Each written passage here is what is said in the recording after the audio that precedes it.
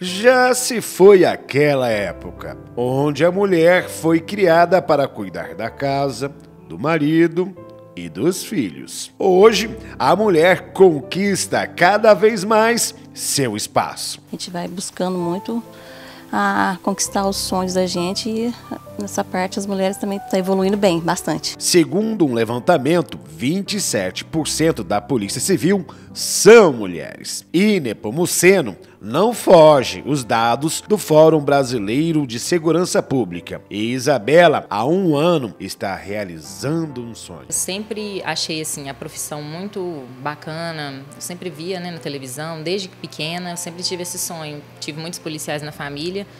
Então, Polícia Civil sempre foi meu foco estudando para concurso ao longo desses três anos de estudo. Sempre quis Polícia Civil. Nos dias atuais, está tendo um, uma evolução da sociedade em aceitar mais a mulher no meio da tanto essas várias carreiras policiais que antes não eram desenvolvidas muito por mulheres. Então eu não tive nenhuma barreira, nenhum problema, muito pelo contrário, eu tive muita aceitação. A conquista dos direitos das mulheres vem sendo adquirida ao longo dos anos. Segundo historiadores, tudo começou na Rússia em 1911. Mas o marco nos direitos e combate contra a violência foi em 2006 aqui no Brasil, com a criação da Lei Maria da Penha. A gente tem uma procura muito grande aqui na delegacia por esse tipo de atendimento e cada dia mais elas estão se conscientizando dos seus direitos, né?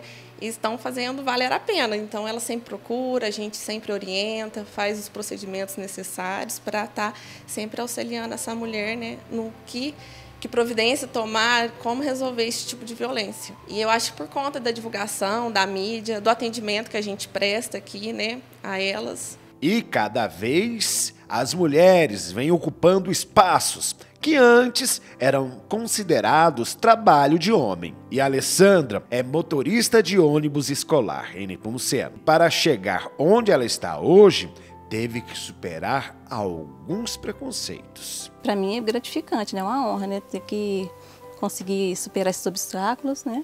E conseguir realizar um grande sonho, né? Você já se fez essa pergunta? Lugar de mulher hoje é lugar de mulher é qualquer lugar que ela conseguir conquistar o espaço dela. Aonde ela quiser.